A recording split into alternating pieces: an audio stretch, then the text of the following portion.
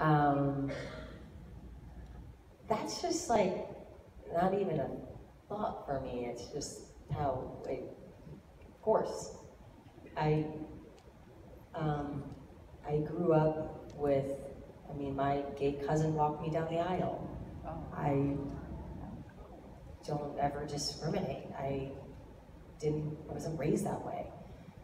So, the, whatever the abnormal is, not, it's always been my normal.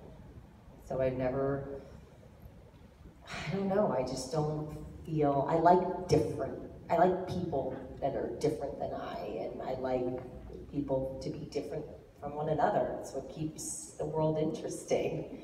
Um, and I also think it's important to stand up for people's rights because some people aren't doing it. And people in our position have um, a platform that we can use to help others who are, you know, living in situations where they can't necessarily be themselves.